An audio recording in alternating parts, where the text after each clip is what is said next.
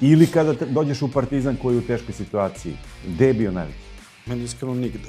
Pogotovo ta priča o pritisku, jer ko ne može sa tim da se nosi, bilo da je on igrač, a pogotovo trener, koji treba da bude nekakav lider cele priče, pa to nije, onda to nije za, za, za tebe da se baviš tim. Ako ti, znaš kako jedan moj prijatelj je davno rekao sam, na mestu da nema pritiska, to znači da nisam na dobrom mestu.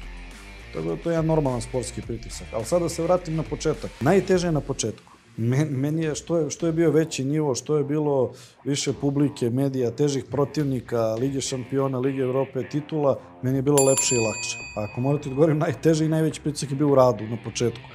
Kada sam preuzeo ekipu sa 28 godina, jer tada si no name apsolutni, i tada je situacija bila ono, pukovnik ili pokojnik, ili ćeš napraviti s tim radom nešto ili ćeš biti neko ko je tu potrajao mesec, dva, tri dana i vraćaš se da treniraš tamo, neki pionire, kadete i tako dalje.